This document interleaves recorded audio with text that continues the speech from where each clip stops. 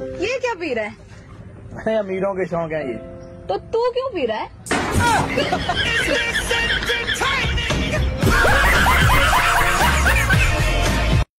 तो रुको जरा सबर करो। मेरा जब एक्सीडेंट हुआ था मैं इसी हॉस्पिटल में आया था। इसकी फैसिलिटी तो यार बहुत अच्छी है।